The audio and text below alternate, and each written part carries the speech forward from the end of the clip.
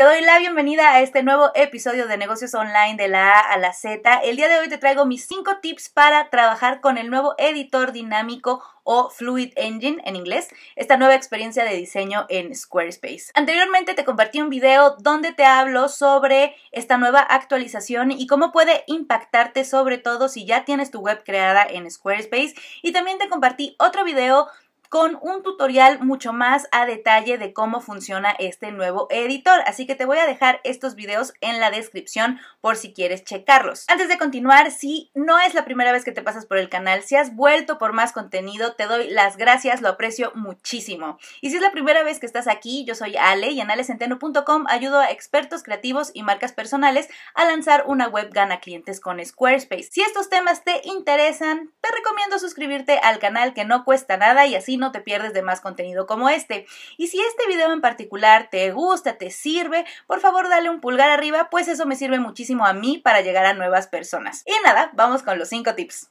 Mi primera recomendación es que actives la cuadrícula para que te ayude a centrar y ajustar tamaño de tus bloques mucho más fácilmente. ¿Cómo vas a activar la cuadrícula? Ya dentro del modo edición de tu sección, vas a hacer clic en la letra G de tu teclado, G por grid de cuadrícula en inglés y entonces nos aparece aquí esta cuadrícula que nos puede ayudar a centrar, por ejemplo, bloques mucho más fácilmente si, si quieres esta imagen con la misma cantidad de espacio hacia arriba o hacia abajo, entonces debes dejar la misma cantidad de filas de la cuadrícula para tenerlo centrado. Además, si tomas algún elemento y lo pasas por aquí el centro, verás que se activa esta guía también para mostrarte si tu elemento está centrado. Puedes ajustar la separación entre las filas de la cuadrícula editando tu sección. Y entonces vas aquí a espaciado y como ves aquí están estos cuadritos separados, puedes optar por que aparezcan muy pegaditos, entonces todo se ha como que ajustado más en el diseño, ocupa hasta menos espacio, como puedes ver, y también puedes elegir ajustar de manera mucho más granular cómo quieres que funcionen tus cuadrículas. Para usuarios regulares, vamos, que no seas un diseñador o diseñadora de Squarespace, generalmente mantenerte entre estas dos opciones que ya te da por defecto la edición de tu sección será suficiente. Mi segundo tip es que revises qué beneficia más a tu diseño. En ciertos bloques tienes la opción de ajustar o rellenar el bloque. Por ejemplo, en la imagen, si yo voy aquí al lapicito y voy a diseño, me da la opción de rellenar o de ajustar. Si hago clic en ajustar, ha tomado el radio de aspecto que tenía la imagen cuando la cargué a Squarespace, que era más alta que ancha. Sin embargo, si yo le doy a rellenar, va a rellenar todo el contenedor que yo he asignado a este bloque y en este caso funciona mejor para el diseño que lo deje en rellenar a que lo deje en ajustar. Además de que tenemos también la opción de forma, pero esto ya es otra cosa. Estos dos, estas dos opciones sí que pueden impactar qué tanto funcionan tus imágenes en el diseño y también tenemos esta opción en los botones. Si yo le doy acá, está en rellenar. Si yo le doy a ajustar, como ves, ha tomado el tamaño que yo asigné en los estilos de la página y no está rellenando todo el contenedor. Puede haber situaciones en las que te sea más fácil usar el botón así, como ajustado, o puede haber casos en los que prefieras a lo mejor un botón bastante largo, perdón, bastante ancho, y entonces puedes jugar aquí con qué tan alto, ancho quieres el botón. Dependiendo de tu diseño, puedes optar por una u otra opción. Así que si algo no te cuadra del todo en tu diseño, revisar si requieres ajustar o rellenar tu imagen o tu botón puede hacer una gran diferencia.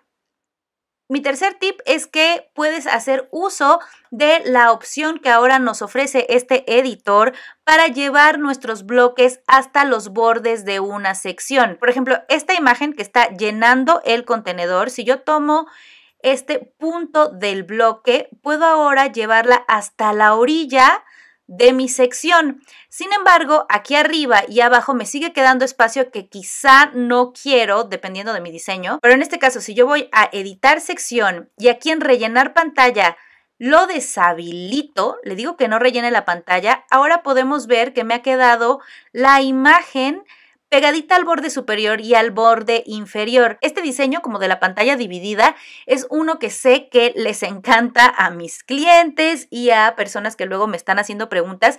Y antes era complicado lograrlo, había que utilizar pues algunas líneas de código y en algunos casos puede seguir funcionando mejor con código, sin embargo ahora es muy fácil lograr este diseño que nos divide la pantalla y llevar la imagen hasta los bordes simplemente habilitando o más bien deshabilitando la opción de rellenar pantalla. Como ves aquí vuelve a rellenar y aquí lo quitamos. Esta opción de rellenar pantalla, si está habilitada, nos permite de todas maneras, como puedes ver aquí, llevar los bloques hasta las orillas izquierda y derecha. Es para el borde superior y el borde inferior donde sí requerimos deshabilitarla para poder tocar entonces las orillas. Mi cuarto tip es que hagas uso de la opción que nos da este nuevo editor dinámico para superponer bloques uno por encima de otro. Como puedes ver aquí tengo un bloque de imagen y le he colocado esta línea como para resaltar el texto aquí arriba, pero la línea va y toca la imagen como por, meter un poco más de dinamismo y puede quedar bastante lindo. Es un detallito, pero puede quedar bastante lindo. Y ahora quiero mostrarte algo que está muy interesante. Si vamos aquí a agregar bloque, y deslizamos hasta abajo encontramos el bloque de forma. Nos aparece aquí este cuadro. Si lo vamos a editar, podemos encontrar que podemos elegir distintas formas. Por ejemplo, me voy a quedar con el círculo ya que mi imagen es circular. Dice expandir, no, lo quiero, quiero deshabilitar, no quiero que me llene todo el contenedor para que no se haga un óvalo, lo quiero circular.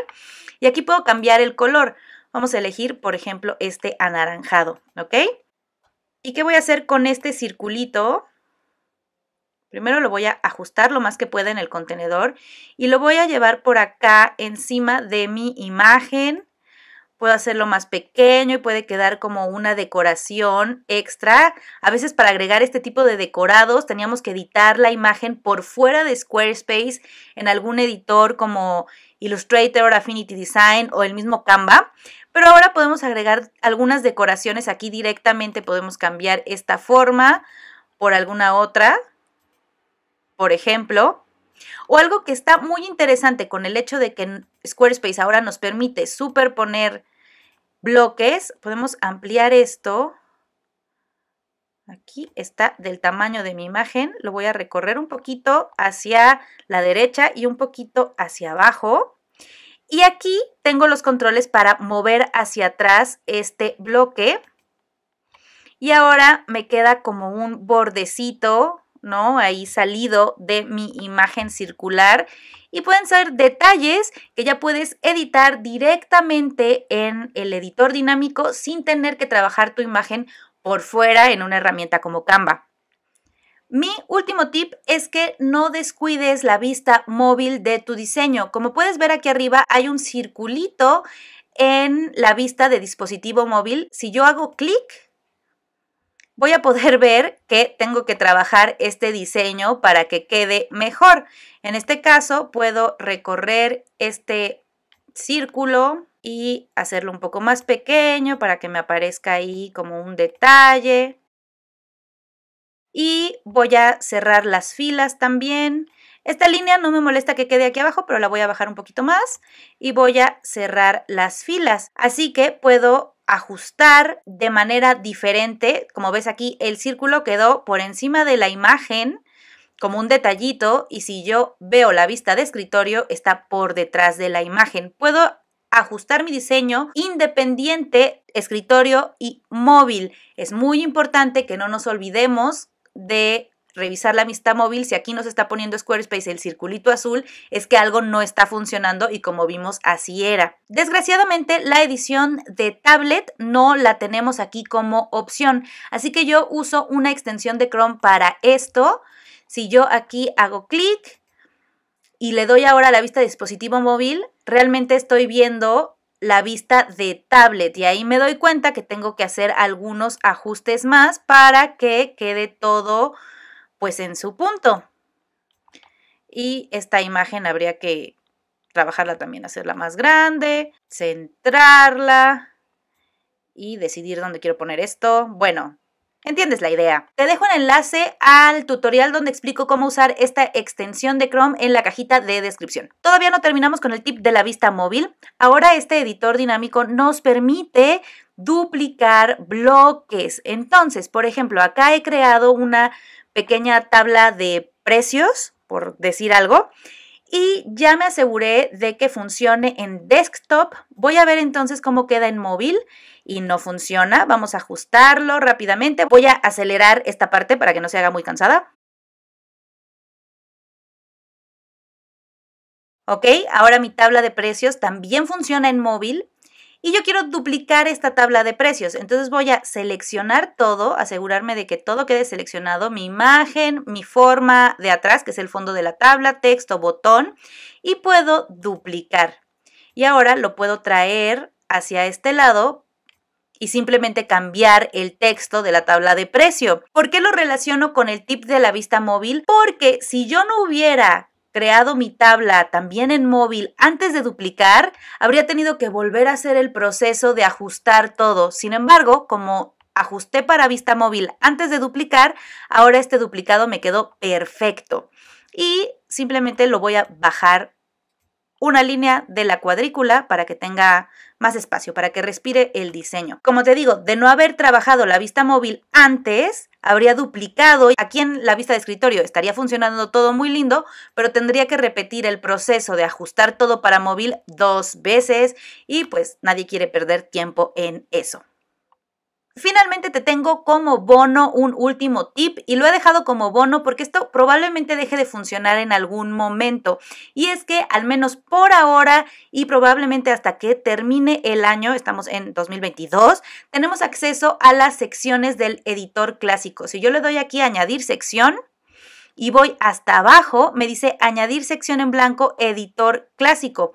Así que le doy aquí y puedo agregar una sección del editor como ya lo conocía y en algunos casos he encontrado que me gusta más diseñar con este editor. Para algunas cosas me parece que es más fácil, la vista móvil queda prácticamente correcta por defecto.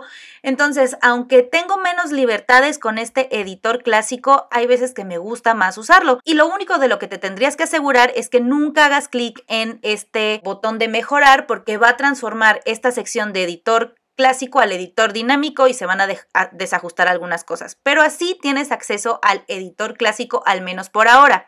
Recuerda que una vez que nos quitaran la opción de añadir una sección en blanco editor clásico, si esto llega a desaparecer de aquí, de todas maneras tú vas a poder seguir trabajando con el editor clásico si duplicas la sección.